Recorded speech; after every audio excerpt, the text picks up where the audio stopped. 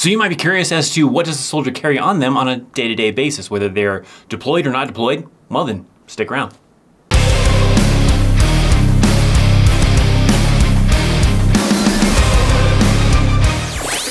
What's up my friends? Welcome to an all new video. I'm US Army veteran Christopher Chaos and in today's episode we're talking about some everyday carry items for soldiers whether they are in garrison or otherwise not deployed or maybe in a combat zone. That's what we're gonna be talking about in today's video. Before we start that though, special thanks to the Ridge Wallet for sponsoring this video. The Ridge Wallet is light, sleek, very modern looking, doesn't fold or create any kind of bulge in your back pocket. You can just throw this in your front pocket and make it a lot easier to carry around your wallet and all your ID and cards and everything. It can hold up to 12 cards inside of here to include room for some cash on the back with either a money clip or a band. With over 30 colors to choose from to include carbon fiber and burnt titanium, I actually enjoy rocking the camouflage colored one, but you can choose the one that best suits your style. Now if you're rough on wallets or just things in general, don't worry, this thing's made out of a very durable material that also includes RFID blocking technology and is also backed by a lifetime warranty. You could easily just buy one wallet and be set for the rest of your life. Now, the people over at Ridge are so confident that you will love the Ridge wallet so much that they will allow you to test drive it for 45 days. If you don't love the Ridge wallet, then you can simply return it and get a full money back return. So get free worldwide shipping even on returns when you visit ridge.com slash chaosarmy and also use the promo code chaosarmy to get 10% off at checkout. So check out the link down in the description box down below to get rid of that old school wallet, get yourself something stylish and modern, get yourself a Ridge wallet. So let's kick this off and let's talk about some everyday carry items that a soldier might carry, starting off when they're not deployed, just simply in garrison. First one, well, convenient enough because of the sponsor, right? A wallet, right? You gotta have a wallet. You gotta have something to carry, especially like your ID card in, your debit card. Sometimes you have like little battle buddy cards or other types of things that your unit creates that has like maybe some kind of, you know, things to do in a situation that they want you to carry on you. So you're gonna need something to carry that ID card around everything else, right? Because you know the sponsor, you know, obviously this is a good choice as well, especially because like in the army uniform, right? You can simply put this in one of those side pockets, maybe on the sleeve, maybe in the front or whatever. It's very small enough to easily fit there without, you know, being in your back pocket and worry about it falling out when you're moving around underneath a vehicle or something like that. So, you know, definitely because it's a sponsor, but also because it is just easy to carry around. A Ridge wallet could be very good for that, but you know, your choice on how you kind of prefer to carry around your ID card everything. But you need something, right, to carry it around. Might as well be the sponsored, you know, item for this video, a Ridge wallet maybe. Another very key thing is a pen and paper, right? You have actually on your uniform a little spot for pens. Usually you don't want anything too crazy and excessive. Usually you gotta have it somewhat hidden. If you have like the standard issue government pens that are black and everything like that, then those are kind of a little bit concealed and those are okay. You can just stick in your pocket in general. Uh, you don't wanna have anything too bulky or something too bright and colorful or whatever sticking out of that pen pocket or whatever. So a pen and maybe like a small notebook is usually ideal to carry around with you. A lot of times that's something that you know they're gonna ask for. Like, all right, let's see, you, you got a pen and paper, let me see it, and break it out especially like they're putting down information. You're doing like a formation, you're doing some kind of thing at the end of the day to put out what's going on the next day, you know, and as you're all huddled around, a lot of times they're gonna be like, all right, where's your pen and paper? You know, start writing the stuff down.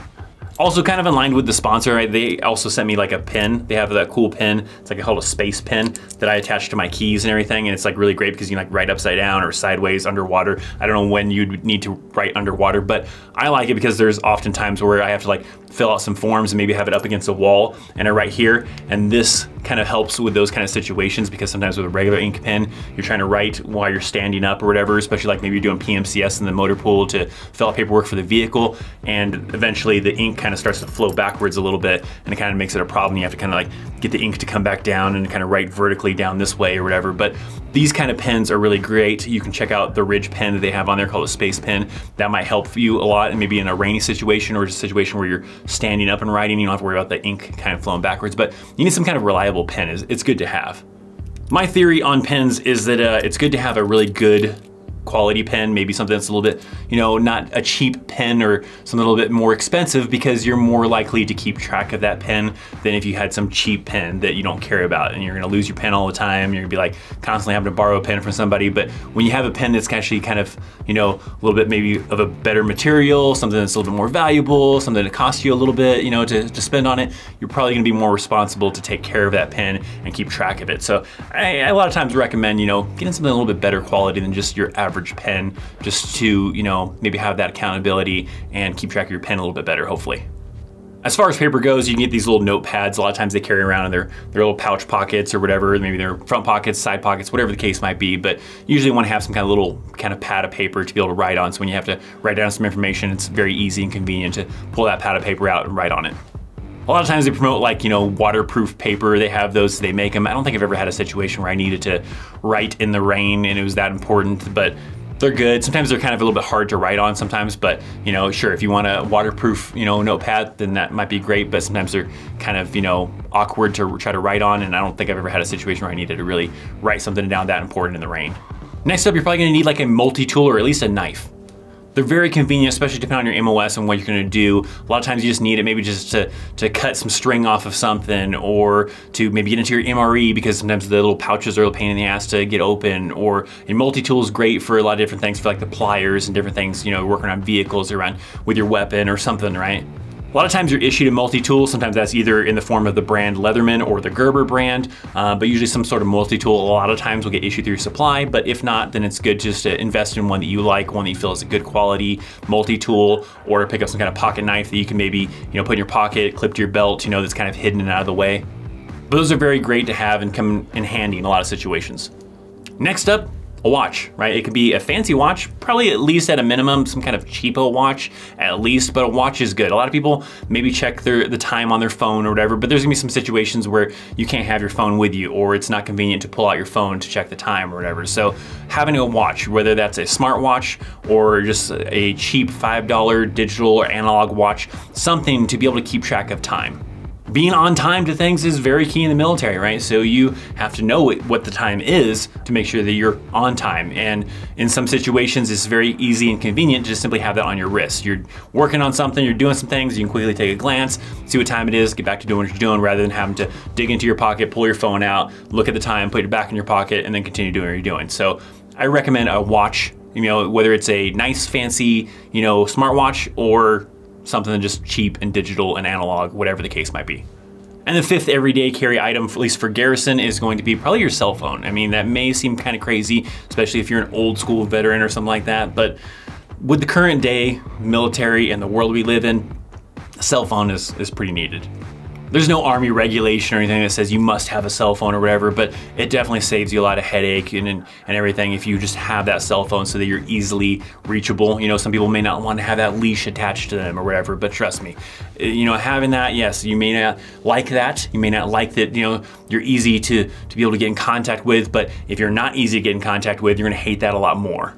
Because if you're someone that is very hard to get in touch with when they need to, then they're probably gonna stick you somewhere as easy convenient. They're gonna make you, you know, be in the motor pool all the time, be supervised, be in the office, whatever the case is, so that, you know, they can keep track of you. And then other people have cell phones that they can easily reach. You know, you might have some down days where like, hey, go ahead and go chill out in the barracks. If I need you, I'll give you a call. Well, if you don't have a cell phone, they can't call you. Well, then you're probably not gonna get that luxury of getting to go chill out or something like that that's not like an everyday thing, but you know, that happens from time to time or whatever. So having that cell phone with you is good for them to be able to reach you, for you to be able to reach them as well. So not just for them to be able to reach you, but there's often times where you need to get hold of other people in your squad, your platoon, whatever the case is. You know, you need help with something and you don't know where the hell private so-and-so is or whatever. So you give them a call. You're like, hey, I need you down here to, to give me a hand. And it's easy and convenient to get a hold of them that way.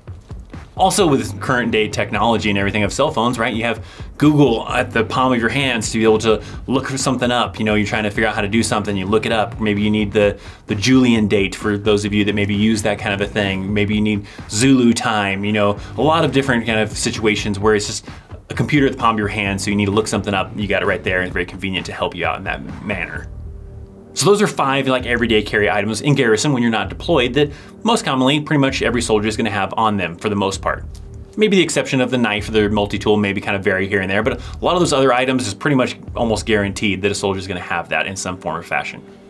So now let's kind of transition over to the combat side. Now, a lot of those items, pretty much all, probably four out of five of those items transition over to the combat side, probably the exception of that cell phone, right? You probably don't necessarily in all situations have a cell phone with you on a combat deployment. Maybe you do, maybe you don't. Most people don't though, but those other four items probably transfer over for a combat situation as well.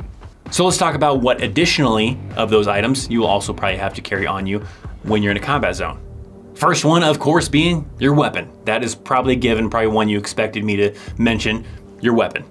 You don't carry a weapon around garrison. It's not an all, everyday kind of carry thing all the time. Only when you're deployed, maybe in the field environment, those kind of situations, you'll have your weapon carried with you at all times. So that means you're going to dinner chow, breakfast chow, whatever the case is, just wandering around the base or whatever, you're carrying your weapon with you. You don't like lock it up, nothing like that. No, that thing goes with you everywhere. It's in your room, your tent, whatever your kind of sleeping conditions are. That thing is with you everywhere you go. To the showers, sometimes people would like have them watch their weapon while they go to the shower, but some people would bring that with them. You know, that one kind of just depends on leadership as far as how they kind of regulate that. But everywhere else, your weapon goes with you at all times kind of along with carrying the weapon. Usually, if you're not out on mission, you're just simply roaming around the fob, the the cop, whatever the base that you're kind of at, whatever. You have to have at least one magazine of ammunition.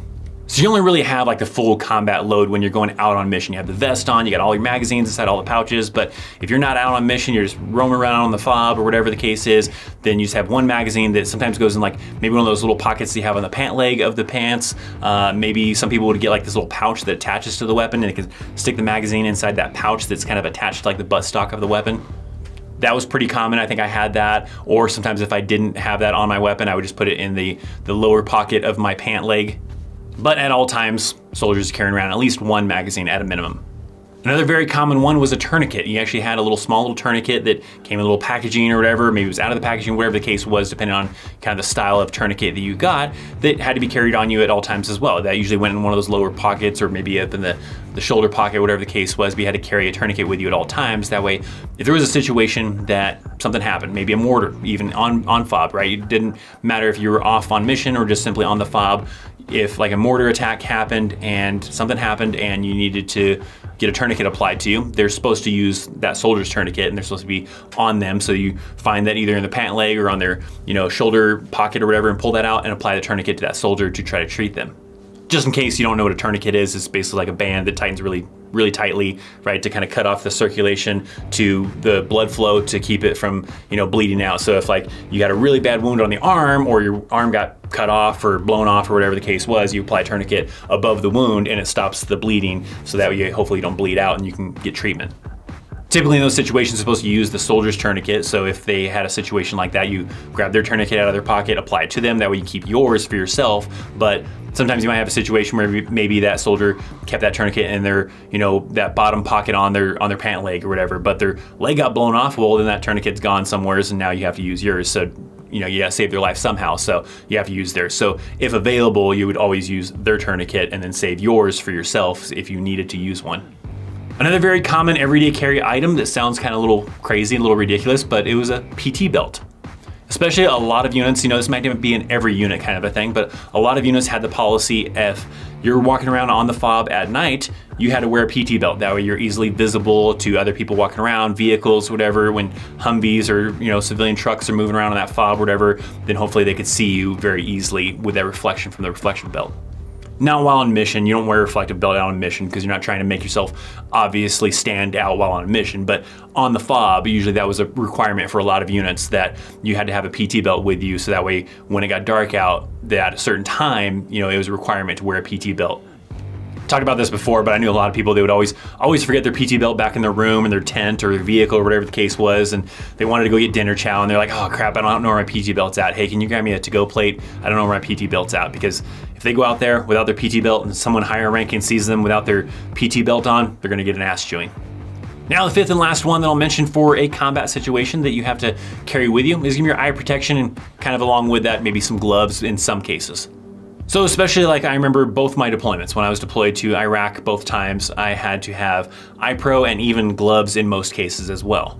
eye pro is a definite one, a definite one that's usually pretty common for all units. The gloves one, that one kind of varies from unit to unit really but having some kind of eye protection. I mean, that's even more than just my simple regular glasses. I usually had to have some kind of ballistic eyewear that either I had inserts inside some ballistic eyewear or I would just simply just say screw it and put the ballistic eyewear over my regular glasses because they would fit over them just fine and I would just rock that way, I guess.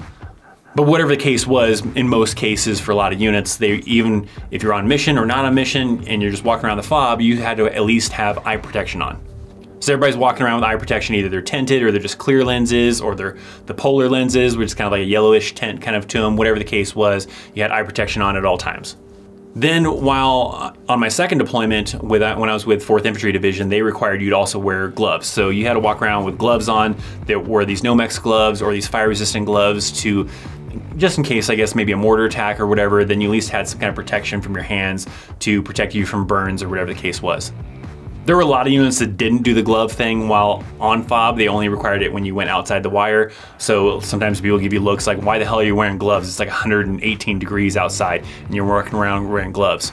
And it'd be like a thing, well, our unit requires this even while we're on the fob. So that one will definitely vary from unit to unit. I know like when I was 30 ACR, I don't believe it was a requirement to wear gloves when you're on the fob, but it was once you went left the wire and went out on mission. But the eye pro part is usually a part of that. So that one is, is a more common one. That one's probably gonna be a given that you're gonna have to wear some kind of eye protection even while you're walking around on the fob. So those are just some items that I wanted to highlight both on the garrison side when you're not deployed, plus also while you're deployed that commonly a soldier is going to have on them at all times, your everyday carry items. For those viewers out there that are currently in the military, maybe some veterans out there, I'd love to hear down in the comment section down below, what are some everyday carry items that you had to carry with you at all times that were just must-haves that were very useful to you, whether you were deployed or not deployed?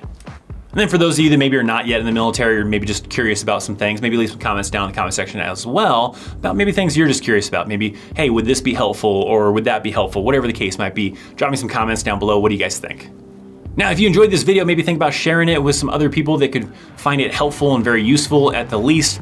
Hit that thumbs up for me, I greatly appreciate it. Check out links down in the description for social media. Also, the Ridge wallet link down below to get yourself a Ridge wallet. Thank you so much for hanging out. Thanks for watching. I'm Christopher Chaos, and I'll see you next time. See ya.